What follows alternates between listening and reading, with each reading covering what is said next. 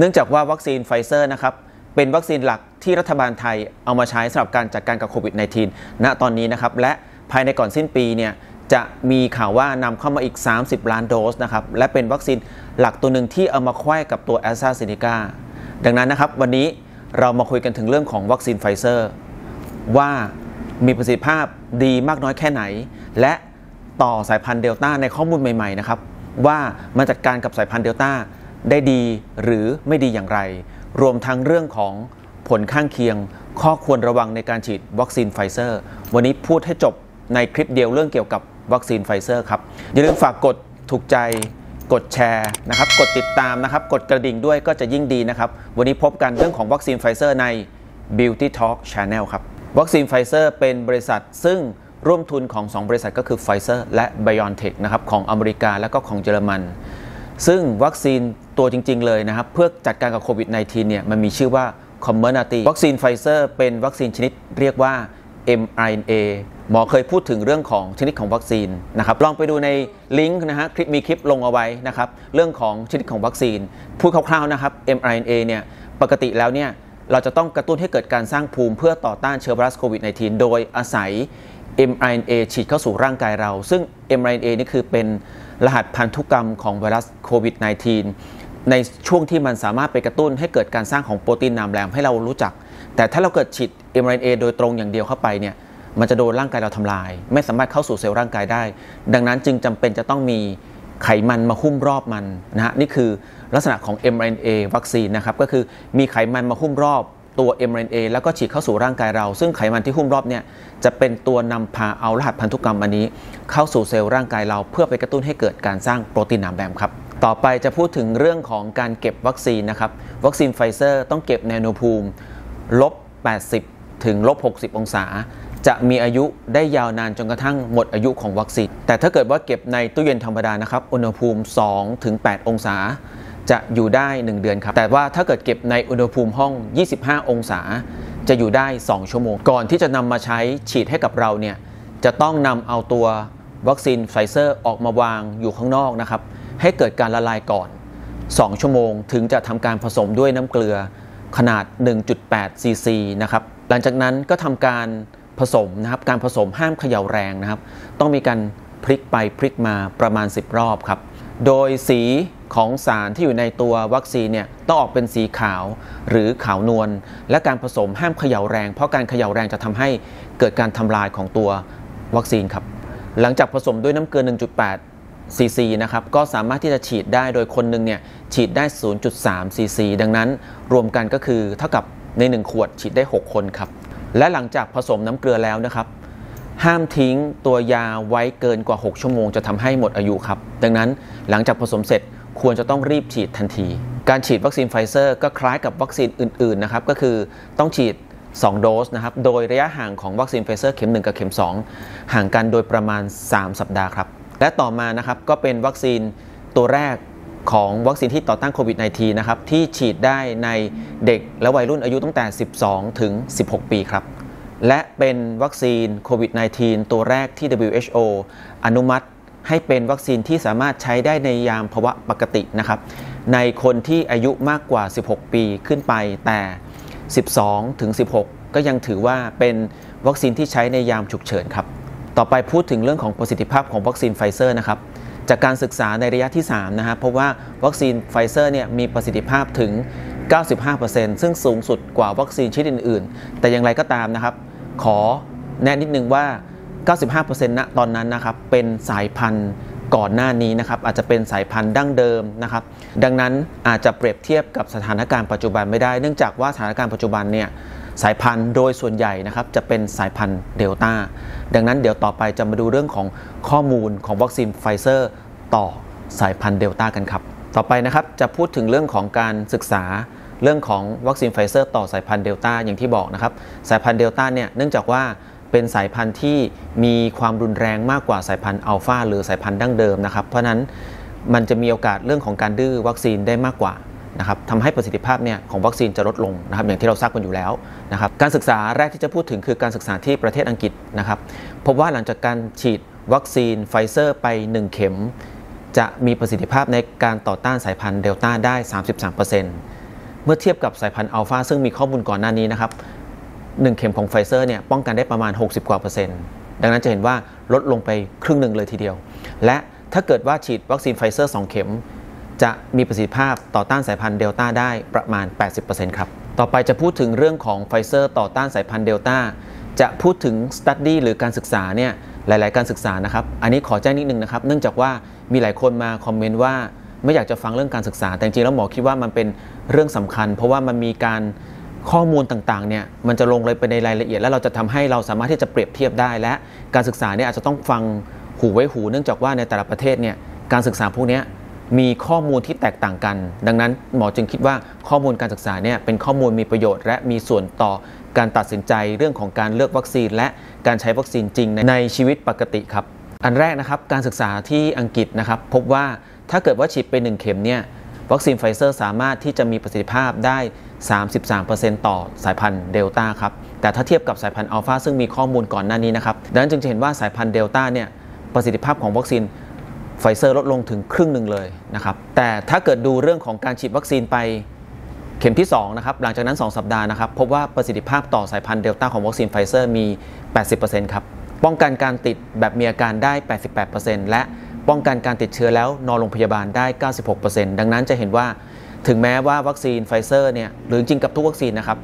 มันไม่ได้ป้องกันการติดได้ 100%แต่อย่างน้อยลดความรุนแรงของการติดเชื้อ ดังนั้นถึงแนะนำว่าทุกคนควรจะต้องฉีดวัคซีนครับ ส่วนการศึกษาในแคนาดานะครับประสิทธิภาพอยู่ที่ 87%และการศึกษาในสกอตแลนด์นะครับประสิทธิภาพอยู่ที่ 79%การศึกษาในอินเดียอยู่ที่ 88%และการศึกษาในอิสราเอลนะครับพบว่าลงมาต่ำมากนะครับประมาณ 64%เท่านั้น และการศึกษาในอเมริกาเองนะครับพบว่าวัคซีนไฟเซอร์เนี่ยสามารถที่จะต่อต้านสายพันธุ์เดลต้าได้แค่เพียง 42%เท่านั้นนะครับและในการศึกษานี้ยังบอกอีกว่านะครับ คนที่ฉีดวัคซีนไฟเซอร์ แล้วมีโอกาสเกิดการติดเชื้อ แม้จะฉีดวัคซีนไปแล้ว เมื่อเทียบกับโมเดอร์นาแล้วเนี่ยวัคซีนไฟเซอร์มีโอกาสเสี่ยงต่อการติดเชื้อมากกว่าโมเดอร์นา2เท่าครับ ส่วนการศึกษาที่อ็อกซ์ฟอร์ดนะครับที่ประเทศอังกฤษนะครับพบว่าถ้าเราฉีดวัคซีนไป 2 เข็ม แล้ว 2 สัปดาห์ถัดมาเนี่ยสามารถที่จะป้องกันการติดเชื้อได้ 85%ถ้าฉีดไปแล้วนะครับ3เดือนประสิทธิภาพในการป้องกันการติดเชื้อสายพันธุ์เดลต้าลดลงเหลือ 75%ครับ ต่อไปนะครับกรมควบคุมโรคติดต่อของอเมริการายงานเองเลยนะครับว่า วัคซีนไฟเซอร์หลังฉีด 2 เข็มแล้วมีประสิทธิภาพในการป้องกันการติดเชื้อสายพันธุ์เดลต้าได้แค่เพียง 66%เท่านั้นครับ ดังนั้นจะเห็นว่าประสิทธิภาพในการป้องกันสายพันธุ์เดลต้าของวัคซีนไฟเซอร์มีความหลากหลายนะครับ แล้วแต่ทำการศึกษาที่ประเทศไหน เพราะว่าข้อมูลและประชากรต่างๆ อาจจะมีความแตกต่างกันนะครับ ก็ตั้งแต่ 40 กว่าเปอร์เซ็นต์จนกระทั่งถึง 80 กว่าเปอร์เซ็นต์ครับ ต่อไปนะครับ ผลข้างเคียงที่พบน้อยรองลงมานะครับ ได้แก่อาการคลื่นไส้อาเจียน แล้วก็บวมแดงบริเวณที่จุดที่ฉีดวัคซีนครับ และผลข้างเคียงที่พบน้อยลงมาอีกนะครับ ก็ได้แก่มีอาการเป็นผื่น ผื่นคัน แล้วก็มีอาการปวดตรงบริเวณ รักแร้ที่อาจจะเกิดจากต่อมน้ำเหลืองที่โตขึ้นครับ ส่วนผลข้างเคียงที่พบน้อยลงมาอีกนะครับ ได้แก่มีอาการคันจุดที่ฉีด มีอาการผื่นคัน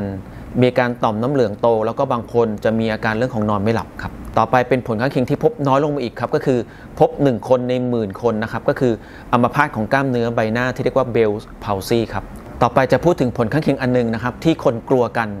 เป็นผลข้างเคียงที่พบได้ไม่เยอะ แต่เจอแล้วอาจจะมีความสำคัญมากนะครับก็คือ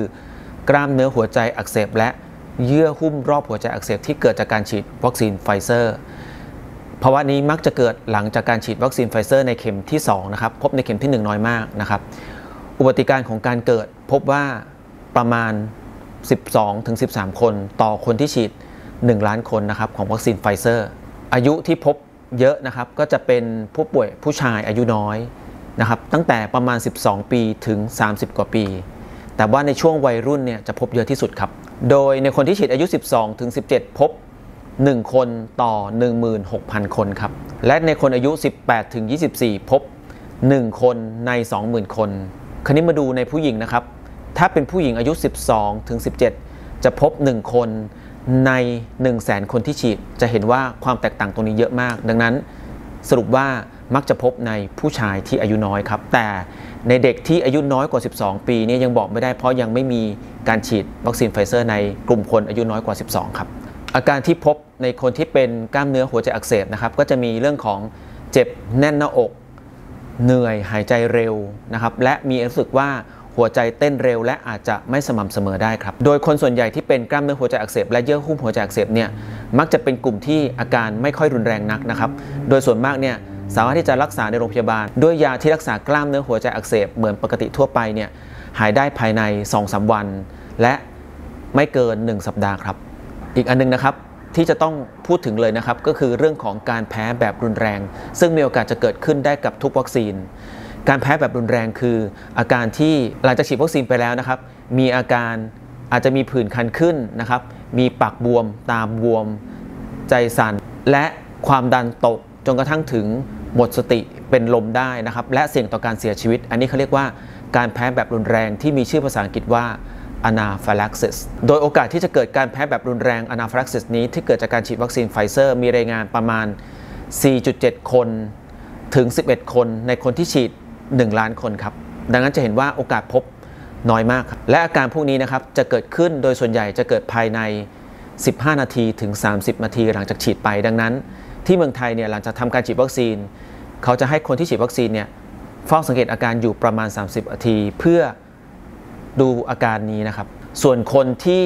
เสี่ยงต่อการเกิดการแพ้แบบรุนแรงอันนี้นะครับ จากวัคซีนไฟเซอร์ ให้ดูในคนที่แพ้สารที่เรียกว่า